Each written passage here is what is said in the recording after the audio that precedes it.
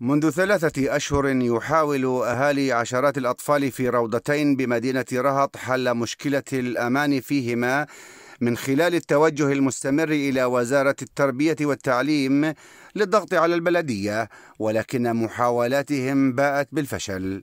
إحنا موجودين في روضة البتراء والزمرد. توجهنا للبلدية بشكل رسمي مكتوب رسمي ولا وزارة المعارف بخصوص هذول الروضتين اللي بيتعلم فيهن 54 طفل بين أعمارهم بين ثلاث سنين لأربع سنين. اللي إحنا الروضات هذول بشكل خطر على أولادنا اللي أعمارهم ثلاث سنين وأربع سنين. آه، لعند هذا اليوم ما في أي توجه من البلدية. مدرستي مخربة وما في لعبات وانت أتعلم. قديش وقت أنت لك آه، ما بتتعلم يا إبراهيم؟ ثلاثة. ثلاث أشهر. وانت بدك ترجع تتعلم مع أصحابك؟ أهالي الأطفال في حي الفردوس الذين أعلنوا عن إضراب مفتوح مع بداية الفصل الدراسي الثاني حذروا المسؤولين من وضع الروضتين والنقص الشديد في ساحة الألعاب التي لا تكفي لسد فراغ الأولاد إلى جانب النفايات التي تشكل مضرة صحية على أولادهم. بنحكي عن وضع الروضة اليوم مزري.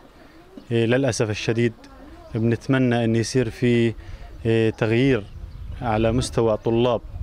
إيه، كباقي طلاب كباقي روضات وطلاب رهط. وأنا بفكر إن هذا حق من حقوقهم إنهم يكونوا زي باقي طلاب رهط. قمنا بزيارة إلى رياض الأطفال في حارة 29 صحيح مطلب الأهالي مطلب شرعي. هناك خلل في في في, في رياض الأطفال.